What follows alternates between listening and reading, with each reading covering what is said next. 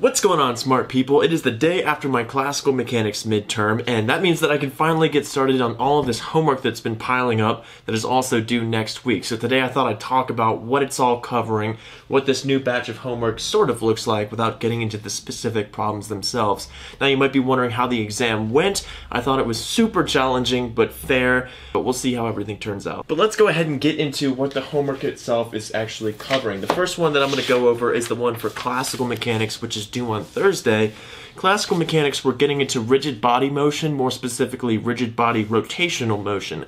So things like moment of inertia. This homework isn't specifically going to cover the inertia tensor. That's probably going to be on the next homework. This one is more so the linear algebra, things like rotation matrices. So it's, it's really trying to motivate it. So I don't think this one will be all that difficult to solve. If maybe you have an online copy of the Goldstein Classical Mechanics book, it's a lot of the derivations in chapter 4, which are a lot of linear algebra proofs.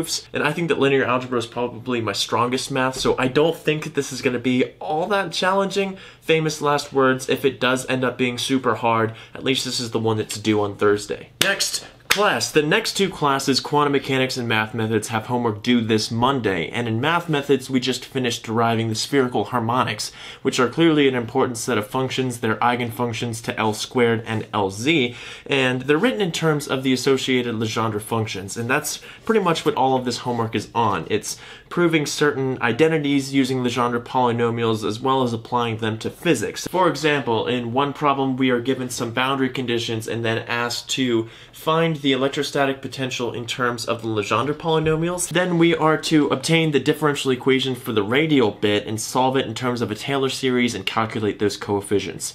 Pretty simple. Last but not least, we have quantum mechanics. This quantum assignment is twice the length of our normal ones. Our normal homework assignments are about three problems.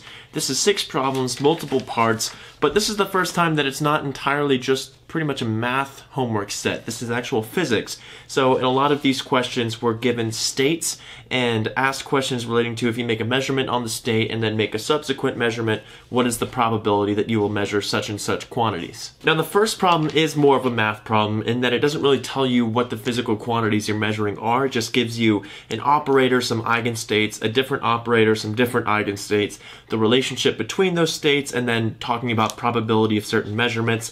The second one is is more specific, more physical, in that it specifically states that it has to do with spin and measuring spin in certain directions. Now, problems four through six would usually be a separate homework assignment altogether, but we haven't had quantum in two weeks, so all of these two homework assignments were lumped into one, and that's what's all due on Monday. That's why this is longer than usual. But the, the second half of this homework is pretty different. It's just solving the Schrodinger equation for different potentials. So for example, one of them is solving the Schrodinger equation for a delta function potential, and then solving it again in momentum space. Now, for those of you who don't know, the Schrodinger equation is a second order partial differential equation whose solution depends entirely on the potential and the boundary conditions. So you change the potential, you change the entire problem. And that's about it for the homework. Classical mechanics is basically all just a linear algebra problem set with one problem on like the Coriolis effect. Mathematical methods is all on Legendre polynomials and associated Legendre functions, applying it to electrostatics. And quantum mechanics is all on probabilities of making certain measurements and solving the Schrodinger equation. The more I look at these assignments, the more it seems like math methods is going to be the most difficult out of the three. Let me know in the comments section what you guys think, and I'll see you tomorrow.